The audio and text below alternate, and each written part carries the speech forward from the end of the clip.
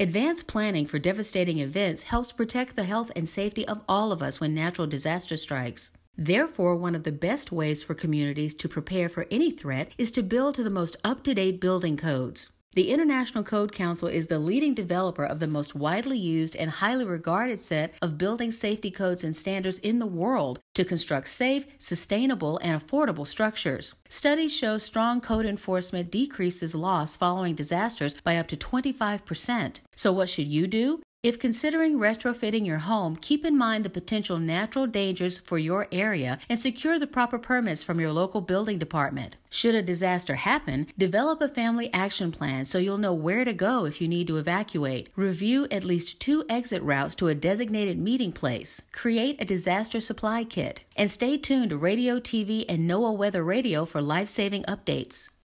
For more, visit buildingsafetymonth.org.